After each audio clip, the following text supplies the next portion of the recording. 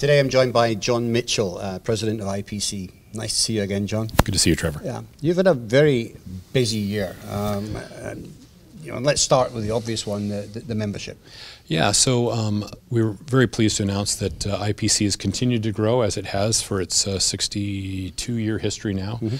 And last year we were actually able to crest 5,000 member locations across the globe. I think it's 5,029 as wow. the end of the year. And uh, the other great thing about that is we continue to become more and more global. 49% mm -hmm. of IPC membership now is outside of the U.S. Really? So uh, again, we're continuing to grow in the U.S., but we're growing faster outside. So how, how is that how is that changing IPC, and how are you dealing with that globalization? So we have uh, offices pretty much wherever the electronics industry can be found. We've mm -hmm. got offices in China, we have offices in Europe, we have offices in India. Uh, where you would expect to find them, that's where we need to be. Right. I noticed you, you opened an office recently in, in Europe, in, in Brussels. Yes.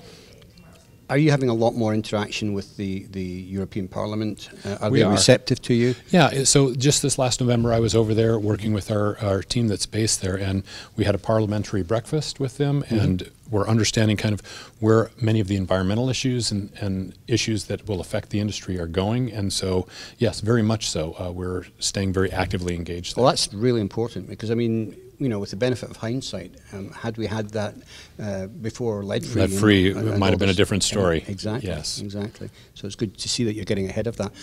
Um, China. It's got a few issues at the moment, obviously, uh, some challenges there, but your your, your base is growing. Uh, yeah, we're uh, I believe we're at a thousand, over a thousand members in mainland China, mm -hmm. or in in PRC, the Public People's Republic of China, and Asia as a whole, I think, is approaching 1,200 overall. So, it like I said, it, uh, we're very pleased with the industry's acceptance and interest in membership here as they mm-hmm. utilize our standards, our education products, our uh, in advocacy, as you mentioned, in Brussels, as well as uh, in DC and uh, a little bit in Beijing as well, mm -hmm. as we try to be aware of whatever is coming down the pike to help the industry. The industry or to impact the industry, we want to be able to keep them informed. And then, of course, the last area is solutions, where we are working to solve what the industry is facing in terms of challenges. Right. And one of these biggest challenges at the moment is, is, is talent sourcing.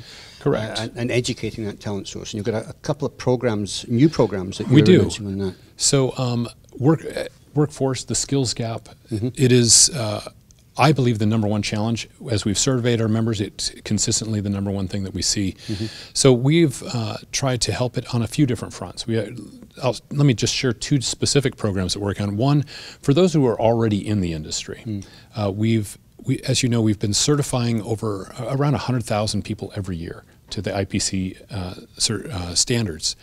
Uh, we're changing, or not changing, we're adding a certificate program that's more focused on specific jobs and the skills required to do those jobs. Okay, so they're, they're not standards based, they're more process based? Uh, they're process, it's skills related. Okay. How do you do this? How do you do that? And it'll refer to the standards so you know when mm -hmm. to access them and how to use standards, but it's really how to do whatever it is your job is. If you're uh, a test operator, mm -hmm. how do you do that? If you're just a general operator, what are, what are the things on those? So we're they're shorter in time frame, and we're working with the industry through our job task analysis committee to make mm-hmm. sure that these what we're developing is actually what the industry needs and wants.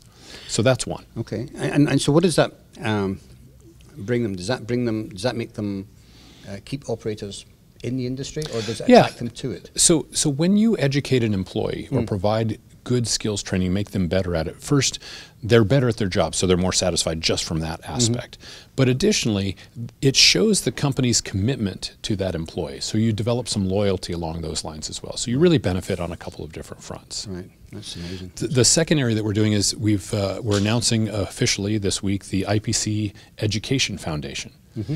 And this is really working f- to find those who are not yet into the industry. It's focused on universities, colleges, as well as even high schools, right. and providing them things like uh, the same type of certificate programs so we can get them the skills and some familiarity with the industry.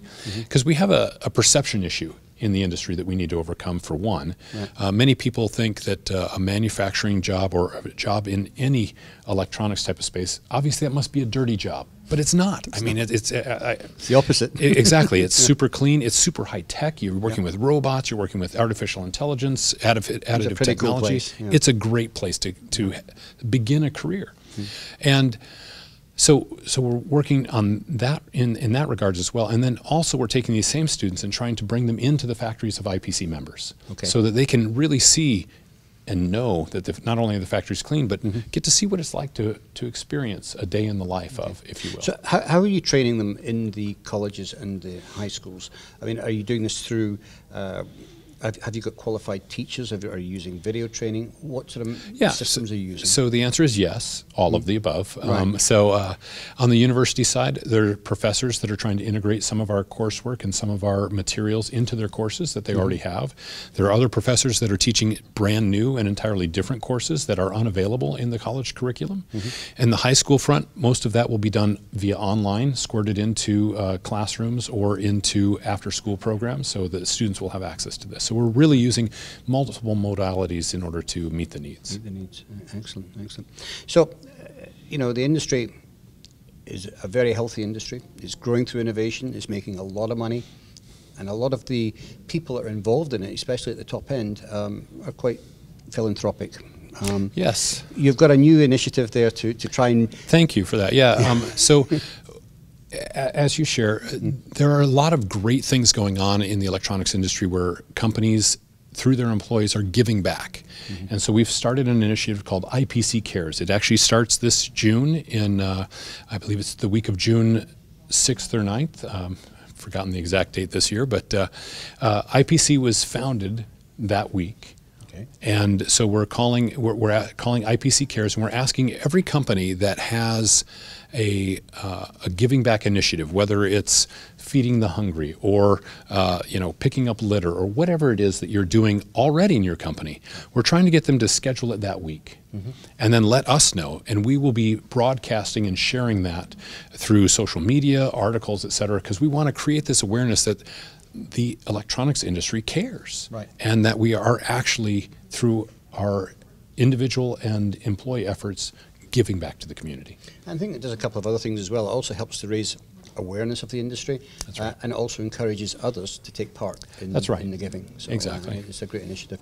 Um, you've got a whole bunch of others, but um, what else is new uh, uh, with, with IPC that you really think we should highlight today? Uh, so for today, well, obviously we're we're here at Apex Expo, so uh, the show's going great. We're very excited about how that is. So There's a lot of new tech this week. There's a lot of great new tech. We've seen some. We're excited about the innovation awards that we'll be awarding tomorrow. So we had several uh, different uh, contestants share their information, and then we had uh, industry committee review those and make their. You know, they provided scores and provided the things so we could talk about that. Or, uh, as you said, there's a lot going on. Um, we're just we're just very excited to be uh, the a, a, a significant channel for the industry to help them overcome their challenges and to be even more successful. I mean, it's it's a great industry to be part of and to be the trade association for uh, across the globe because, unlike maybe some other industries, pretty sure electronics is going to be around for a while. for quite a while, I think. yeah.